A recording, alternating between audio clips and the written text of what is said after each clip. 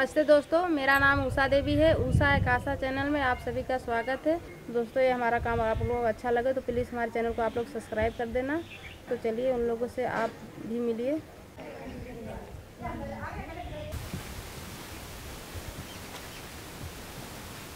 दीदी नमस्ते। आपसे मिले आए कहाँ रखे हैं चूल्हा में? दूध रखे हैं? हाँ। और दीदी आपका क्या नाम बा? हमारा नाम करो सरोजा। और दीदी कितना लड़कियाँ हैं आपके? अरे लड़का हैं। चार लड़का है? चार लड़के हैं? ना एक लड़की को है। अच्छा तीन लड़का और एक लड़की। है। और दीदी हम आप स्कूल में खाना बनावत हैं? हाँ दीदी खाना। अच्छा रोज जाती हैं आप बनावे? हाँ बंद भाई है स्कूल अच्छा यहाँ से छुट्टी चल रहा है ना? हाँ। और दीदी आपका कैसे खत्म हो गया रहन पति का बताए गए हैं मनई ले जाए के गए अब कैसे? वहाँ दरे कैसे हो गए न कैसे ना आई अब का करा जाए? कहाँ गए रहन बम्बई जा रहे बम्बई? हाँ। तो कितना साल से वहाँ रहते हैं? एक कल साल ना पहले ही दाएँ गए रहे पहले दाई कमाई कर रहे हैं? हाँ पहले ही दाएँ गए रहे तो कितना दिन गए भर आ दीदी आठ रोज ग्यारह अठारह रोज खत्म हो गया अच्छा। तो दोस्तों उनके पति मतलब यहाँ पे कौन काम करते हैं दीदी? यही गलत क्या भी ना करें तो दोस्तों उनके पति मतलब कि यहाँ पे गली कालीन का बुनाई वाला काम कर रहे थे तो पहली बार गए थे परदेश और क्योंकि इनके बच्चे लोग चार लोग हैं ये भी हैं पर अकेले खर्चा मतलब सोच रहे थे कि मैं बॉम्बे जाऊँगा तो कमाऊँगा तो वहाँ पे एक हफ़्ते गए हैं। उनके पास उनको पता ही नहीं कि उनको क्या हो गया। बस यही इनका संदेश है तो ख़त्म हो चुके हैं। कोई बताया था दीदी आपको? हाँ फ़ोन करे रहे जकरे संगे गवा रहे हैं तो नहीं फ़ोन करे। हम बहुत जाने अब बहुत दबड़े धूपे ना ही उनके वो थरा का करी अब चाटे बच्चा लेके हम आई हक झेला के बाद हाँ दीदी जानत है आपको कष्ट घबरात के नहीं बाबू तुमके ज़्यादा रोना। रो मत भगवान चाहिए तो सब लड़के सयान हो जाए कुछ सुधार दूर हो के नहीं बाबू साथ।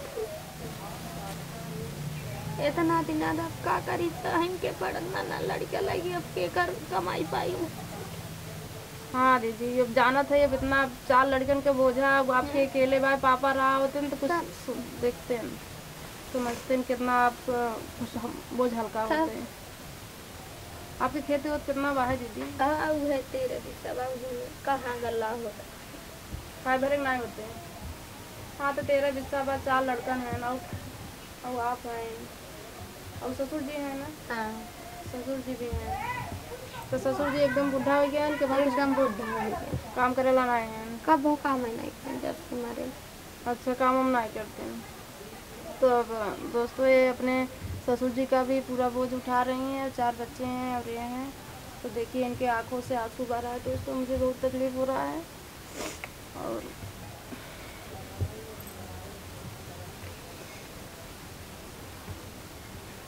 दीदी ये लड़कन लोग मांगत होगा तो सामान कुछ कैसे अब कैसे बताई ऐसे जैसे नहीं खाते न भाई जे का ढेर खाई के घोर खाई हो हाँ जेकर पास पैसा है तो पूरा ता- बच्चे को लोग खिलाने की कोशिश करता है हाँ। कि जितना हो सके कि बच्चे को जब ना आई। बट कहाँ से खिलाई हाँ।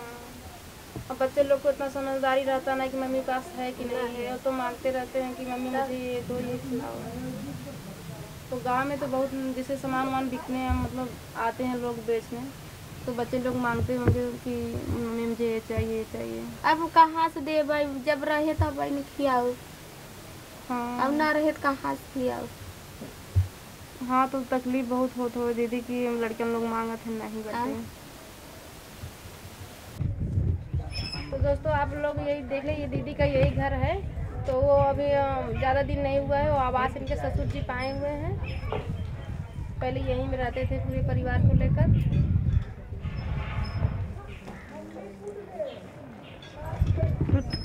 दीदी यही घर हुआ आपका? हाँ ये भाई अपनी सारी घड़ी आवाज़ को पाए अच्छा ये ससुर जी पाए हाँ? हैं ये वाला? ससुर जी पाए हैं। मुँह मत निकाला तुम कर हमारे घर से ससुर जी घर में नहीं रहते थे नहीं कहाँ रहे तुम भगावत का हम बनवा ली हमारे तो ऐसा नहीं क्या? आपके नाम से नहीं मिला है आवास नहीं अभी नहीं मिला। अब प्रधान तो ससुर जी का अलग आवास दे रहा है और आप लोग का अलग जब दे दे सब ना। तो आप बात की थी अपन प्रधान से? आ दीदी कह रहे थे कहीं चलो मिले तो है। अब जब मिल जाए तब मिलेंगे हाँ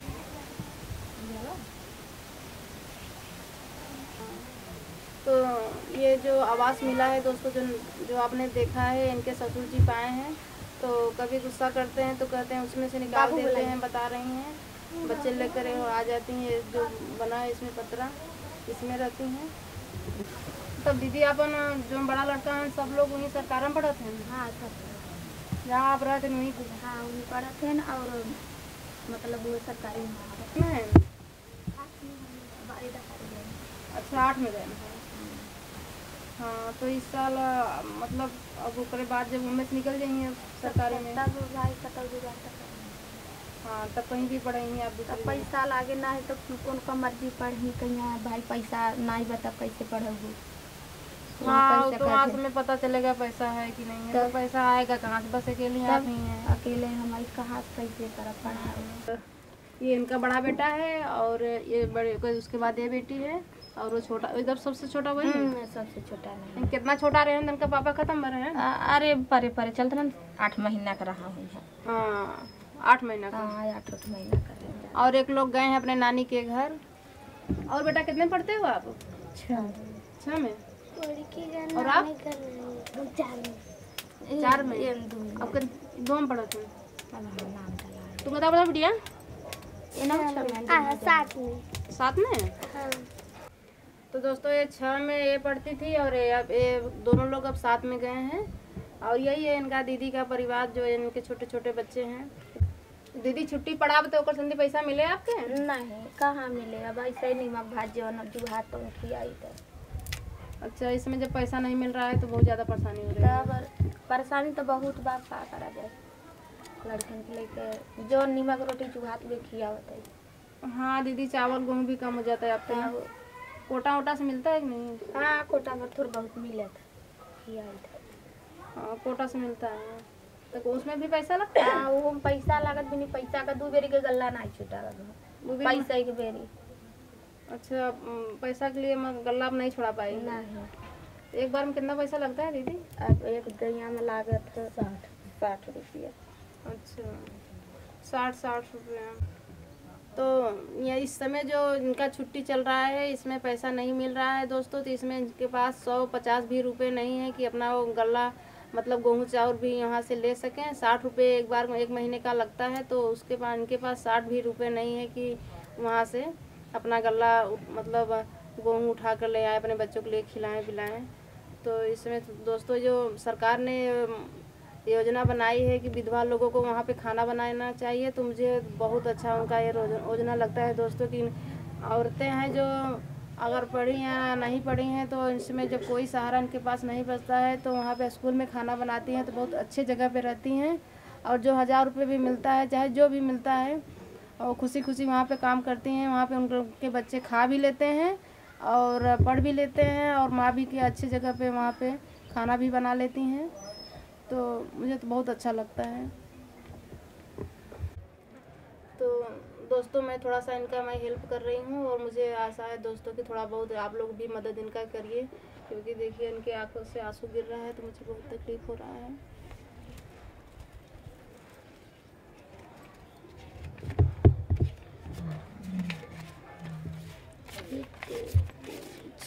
पाँच छः सात।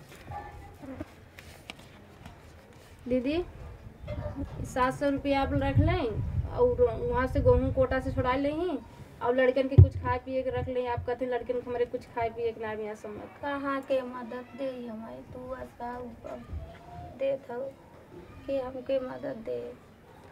कोई बात नहीं दीदी तो कर मदद देवता भगवान भेजे हैं हमके। तो दीदी आप रोइए मत। और फिर से आप उससे मिलने आएँगे, आपके, आपसे नहीं, आपके बच्चे लोगों से मिलने आएँगे दीदी। आओ दीदी।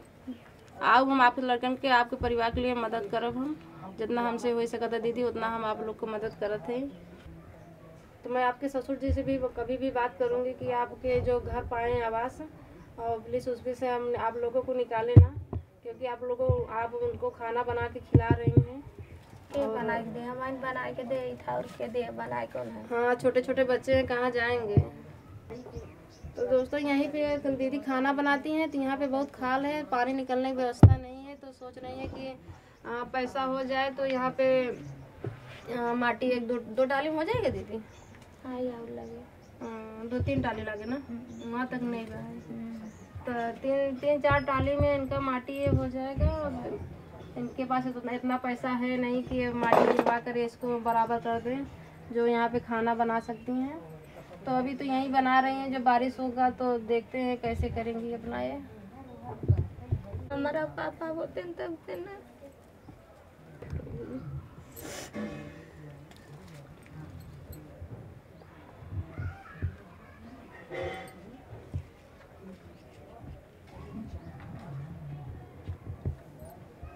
दीदी तो चली? हाँ चलो। पानी उनी पी ले।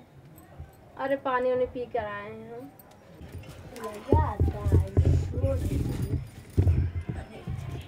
अगर उषा एक आशा चैनल को अगर आप लोग मदद देना चाहते हैं तो पेट्रियन के ज़रिए मदद दे सकते हैं। अगर हमारा काम आप लोगों को अच्छा लगे तो।